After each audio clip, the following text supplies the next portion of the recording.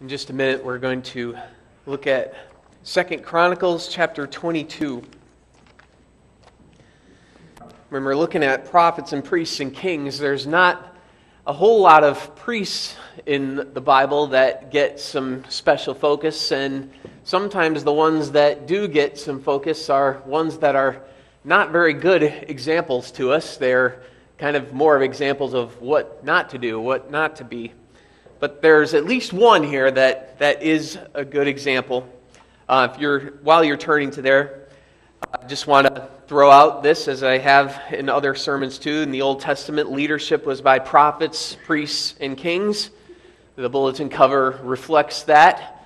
There's uh, prophets who declare God's word, there are priests who make sacrifices, and there are kings who lead and give administration.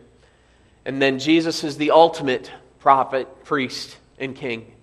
He fulfilled all of those roles, and he did them in a perfect way, whereas everyone else who has gone before him did so in an imperfect way that pointed ahead to him. So let's answer this question together. Why is he called Christ, meaning anointed?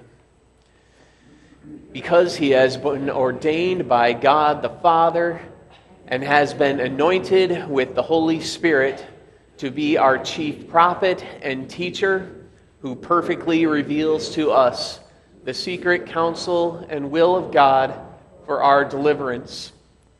Our only high priest who has set us free by the one sacrifice of his body and who continually pleads our cause with the Father, and our eternal King who governs us by his word and spirit, and who guards us and keeps us in the freedom he has won for us.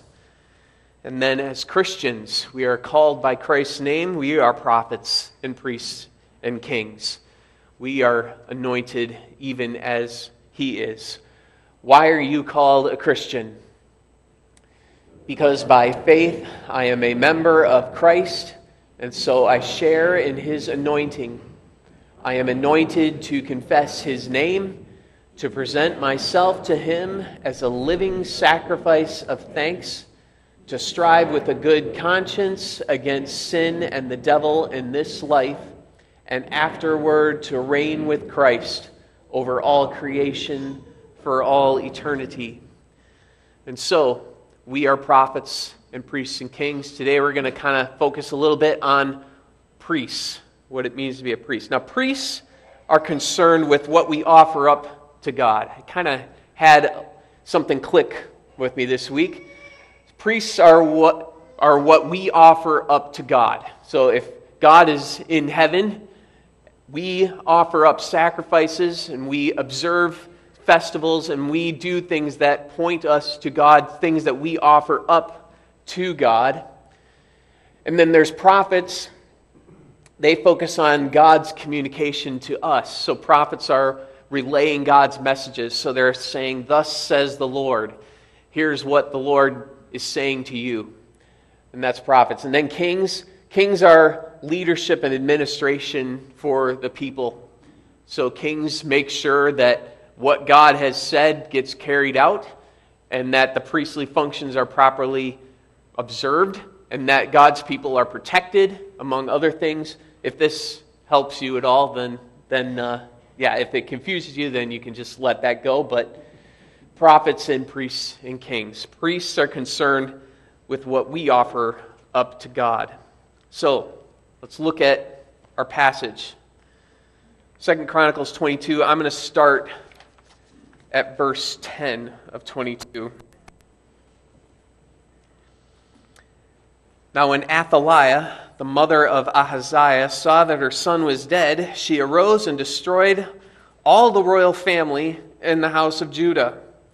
But Jehoshabeth, the daughter of the king, took Joash, the son of Ahaziah, and stole him away from among the king's sons who were about to be put to death. And she put him in and his nurse in a bedroom. Thus Jehoshabeth, the daughter of the king of Joram, and the wife of Jehoiada, the priest, because of was a sister of Ahaziah, hid him from Athaliah so that she did not put him to death. And he remained with them six years, hidden in the house of God, while Athaliah reigned over the land. But in the seventh year, Jehoiada took courage and entered into a covenant with the commanders of hundreds Ahaziah, son of Jehoram, Ishmael, the son of Jehohanan, Azariah, the son of Obed, Maaseiah, the son of Adaiah, Elishaphat, the son of Zichri. And they went through Judah and gathered the Levites from all the cities of Judah and the heads of the fathers of the houses of Israel. And they came to Jerusalem. And all the assembly made a covenant with the king in the house of God. And Jehoiada said to them, Behold, the king's son, let him reign, as the Lord spoke concerning the sons of David. This is the thing that you shall do. Of you priests and Levites who come off duty on the Sabbath, one third shall be gatekeepers, and one third shall be at the king's house, and one third at the gate of the foundation. And all the people shall be in the courts of the house of the Lord. Let no one enter the house of the Lord, except the priests, the ministering Levites. They may enter, for they are holy. But all the people shall keep the charge of the Lord. The Levites shall surround the king, each with his weapons in his hand, and whoever enters the house shall be put to death. Be with the king when he comes in and when he goes out. The Levites and all Judah did according to all that Jehoiada the priest commanded, and they each brought his men who were to go off duty on the Sabbath with those who were to come on duty on the Sabbath, for Jehoiada the priest did not dismiss the divisions. And Jehoiada the priest came, gave to the captains the spears and the large and small shields that had been King David's, which were in the house of God. And he set all the people as a guard for the king, every man with his weapon in his hand, from the south side of the house to the north side of the house, around the altar and the house. Then they brought out the king's son and put the crown on him and gave him the testimony and they proclaimed him king. And Jehoiada and his sons anointed him, and they said, Long live the king! When Athaliah heard the noise of the people running and praising the king, she went into the house of the Lord to the people. And when she looked, there was the king, standing by his pillar at the entrance, and the captains and the trumpeters beside the king, and all the people of the land rejoicing and blowing trumpets and the singers with their musical instruments leading in the celebration. And Athaliah tore her clothes and cried, Treason, treason! Then Jehoiada the priest brought out the captains who were set over the army, saying to them, Bring her out between the ranks, and anyone who follows her is to be put to death with the sword. For the priest said, Do not put her to death in the house of the Lord. So they laid hands on her, and she went into the entrance of the horse gate of the king's house and they put her to death there. And Jehoiada made a covenant between himself and all the people and the king that they should be the Lord's people. Then all the people went to the house of Baal and tore it down, his altars and his images, and they broke in pieces. And they killed Mattan, the priest of Baal, before the altars. And Jehoiada posted watchmen for the house of the Lord under the direction of the Levitical priests and Levites who David had organized to be in charge of the house of the Lord, to offer burnt offerings to the Lord, as it is written in the law of Moses, with rejoicing and with singing, according to the order of David. He stationed the gatekeepers at the gates and the house of the Lord so that no one should enter who was in any way unclean. And he took the captains, the nobles, the governors of the people, and all the people of the land, and they brought the king down from the house of the Lord marching through the upper gate to the king's house. And they set the king on the royal throne. So all the people of the land rejoiced, and the city was quiet after Athaliah had been put to death with the sword. All right. So, what happened here? There's a lot of names being mentioned here, and these aren't ones that we normally talk about or look at here. So, we'll look at what happened. Jehoiada was a priest in the Temple of Jerusalem during a tumultuous time. He was the, the chief priest at the time. I made this little diagram to maybe help you keep track of the names. Jehoshaphat and Joram, those were the kings of Judah. Jehoiada is on the far left, and he married one of the daughters of Jehoram. And then there's Ahab and Jezebel. You might recognize those names. Uh, they were king and queen of the northern kingdom. They were considered the most wicked king and queen of that whole kingdom.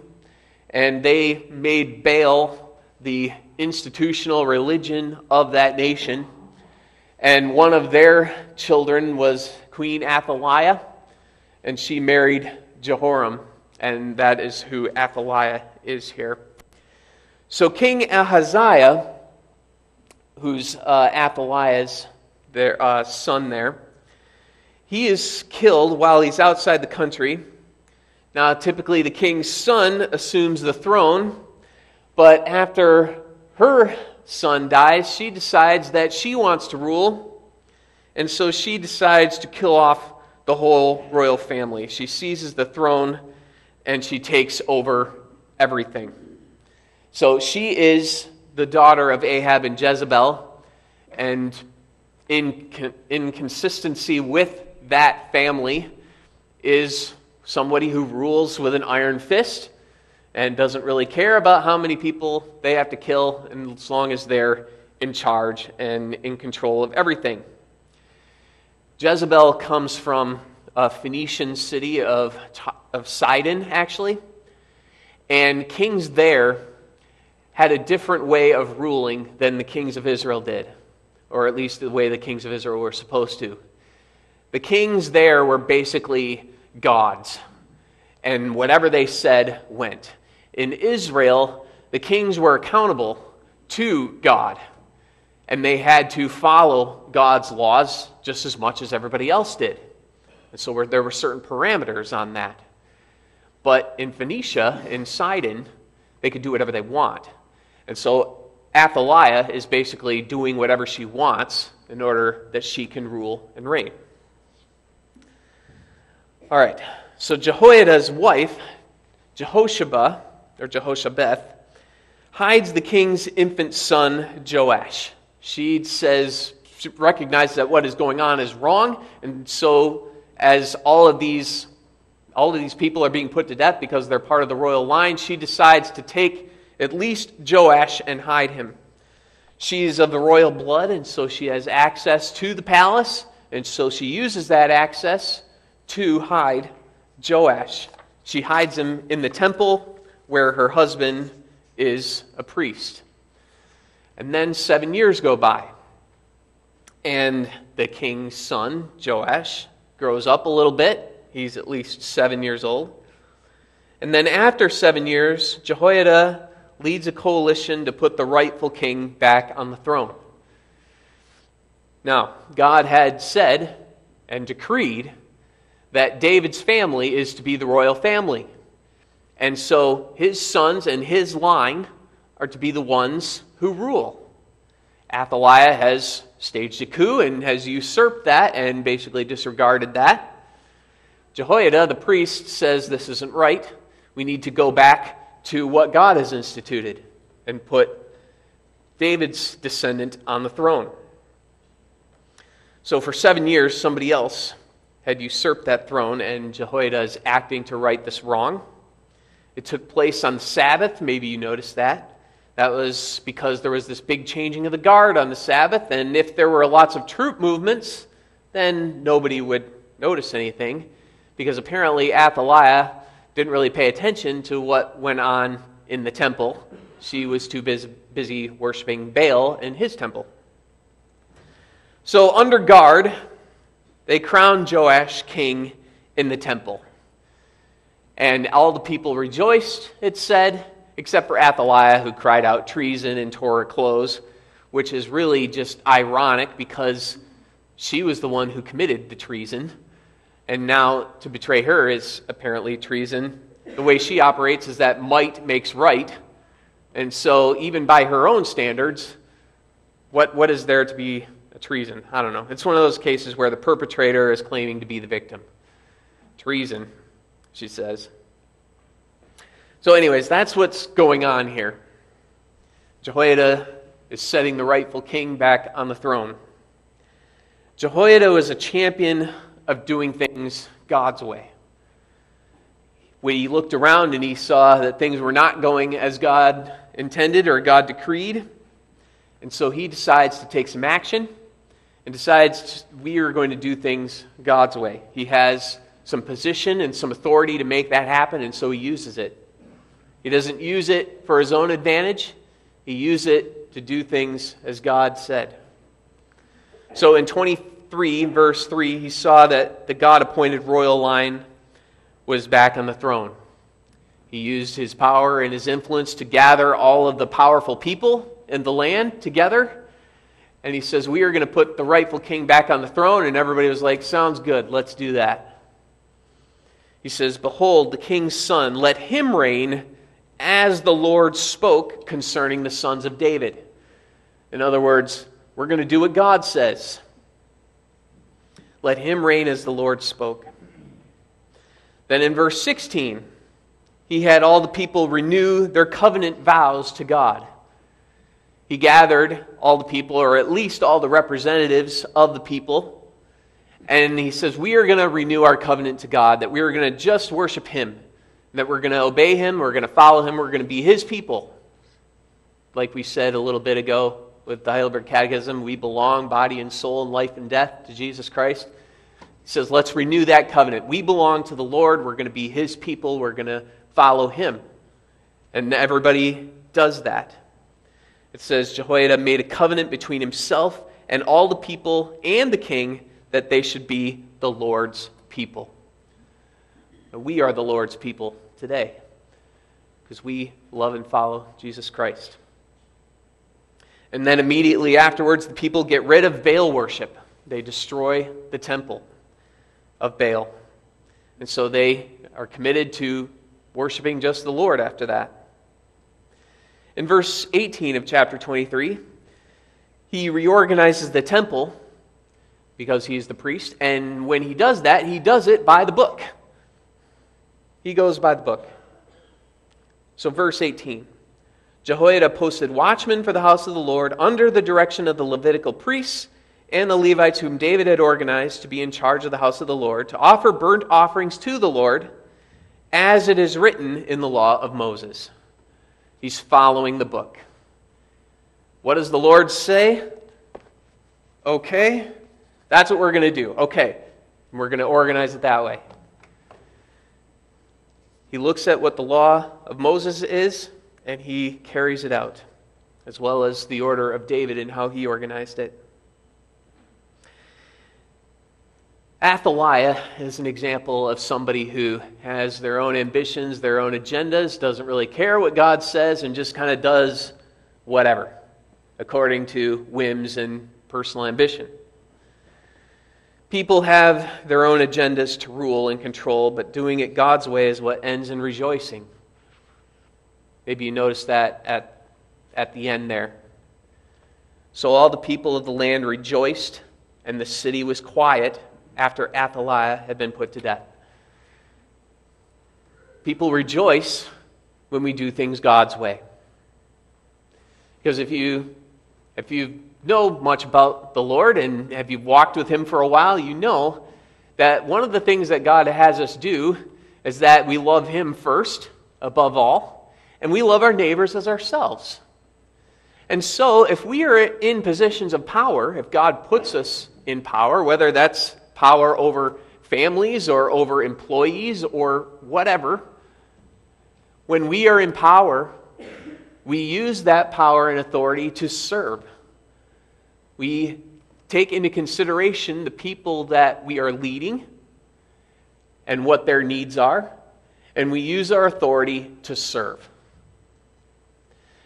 When we use our authority for our own ambitions, everybody suffers everybody else suffers. We might benefit, but we rule and command and just use our position for ourselves.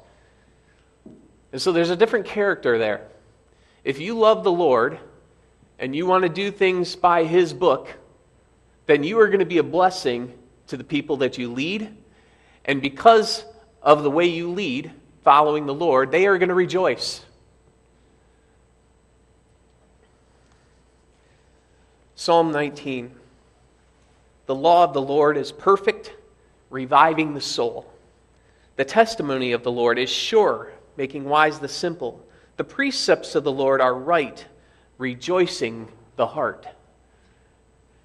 When we follow what God says, people rejoice, including us.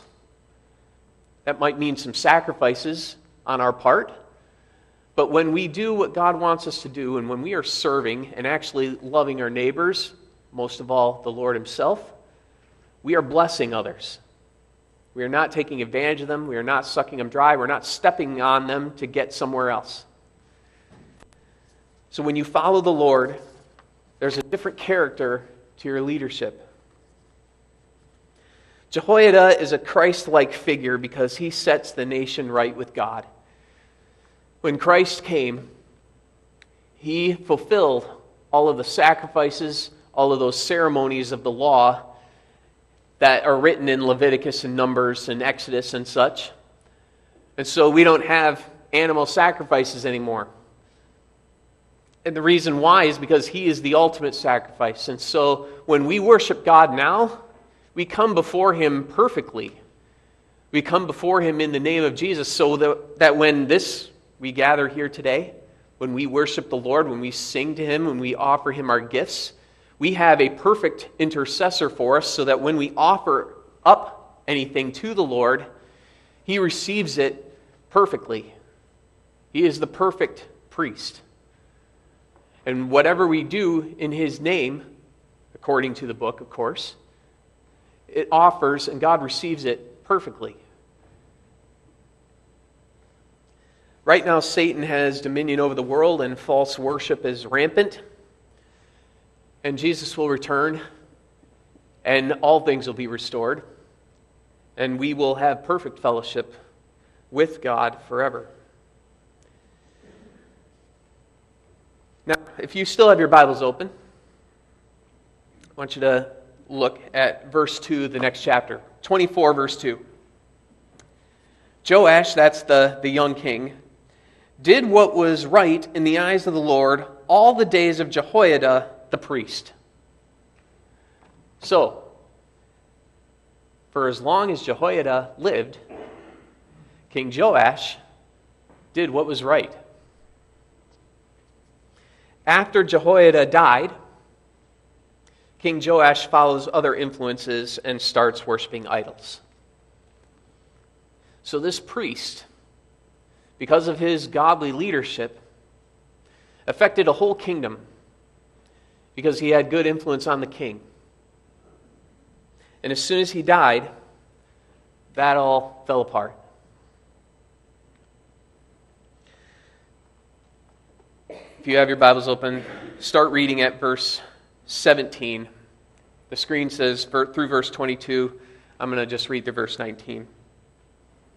24, verse 17. Now, after the death, excuse me, the death of Jehoiada, the princes of Judah came and paid homage to the king. Then the king listened to them. And they abandoned the house of the Lord, the God of their fathers, and served the Asherim and the idols and wrath came upon Judah and Jerusalem for this guilt of theirs. Yet he sent prophets among them to bring them back to the Lord. These testified against them, but they would not pay attention.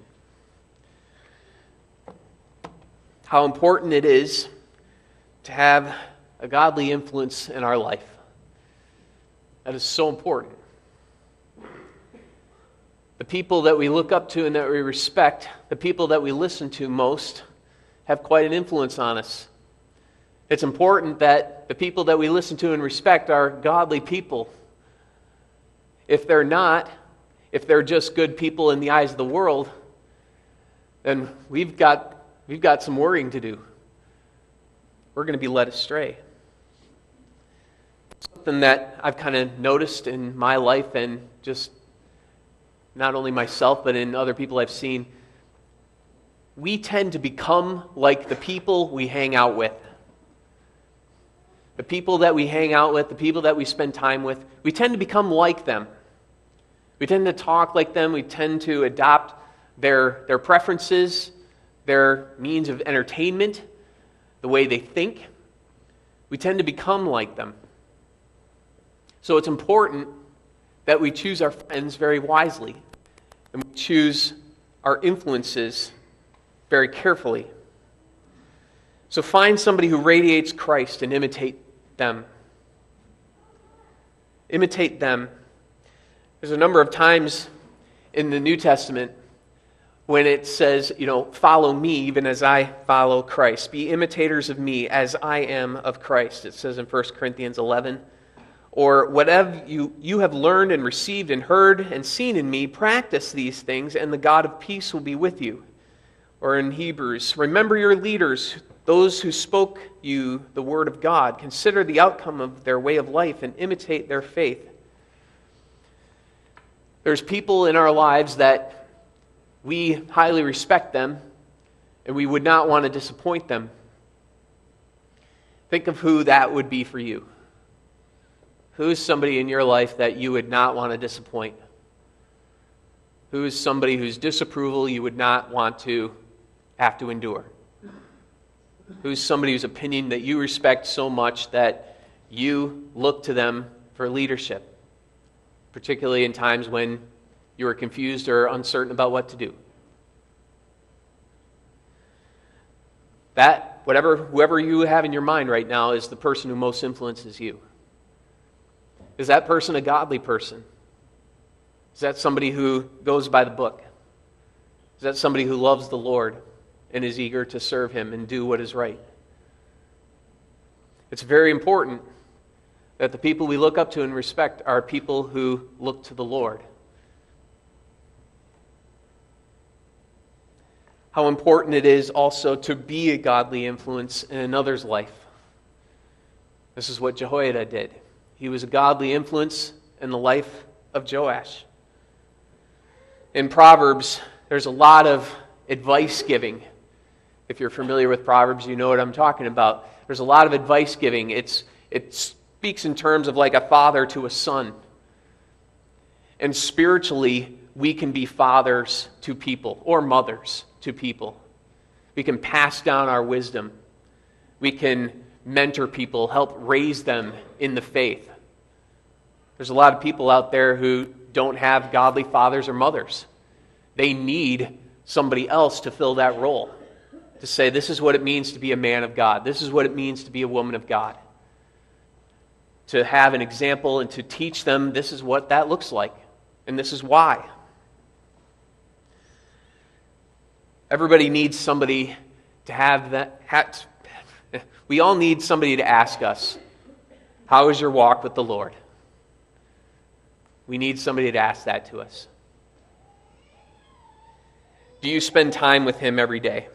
Is your faith growing? Are you serving Him? Are you witnessing somehow? We need to do that for others too.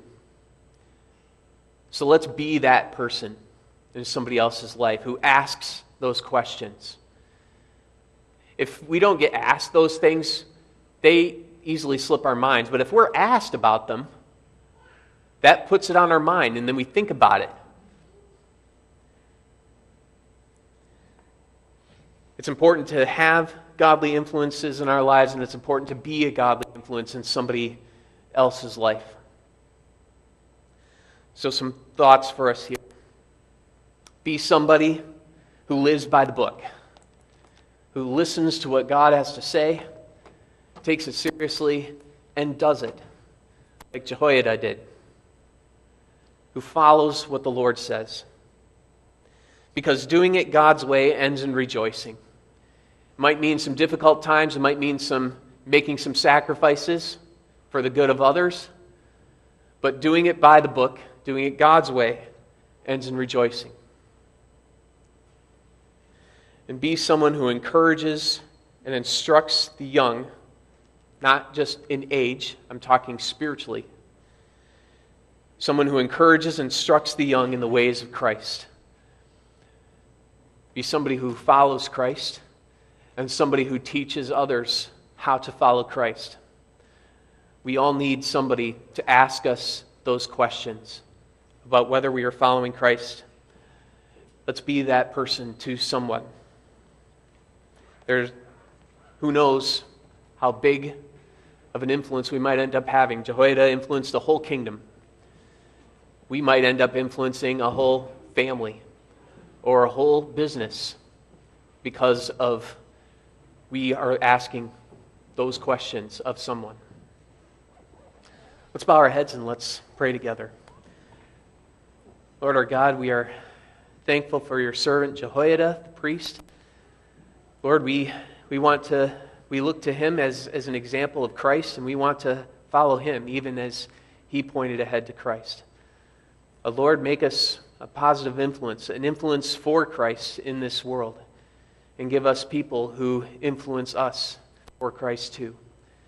Lord, use us by the power of your Holy Spirit in Jesus' name. Amen.